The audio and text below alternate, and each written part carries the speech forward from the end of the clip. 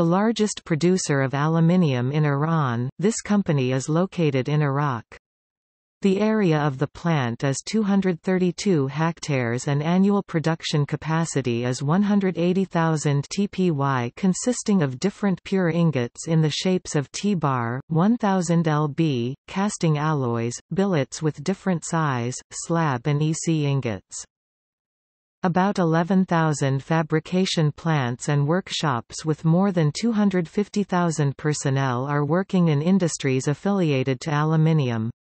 The products of the firm are produced according to the international standards and the minimum purity degree of aluminium is 99.70%. IRALCO is the member of LME Iranian Aluminium Company IRALCO, Persian, Shrekt Alwanwam Iran Iraq is an Iranian aluminium manufacturing company.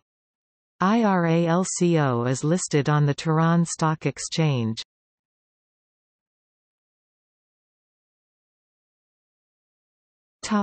See also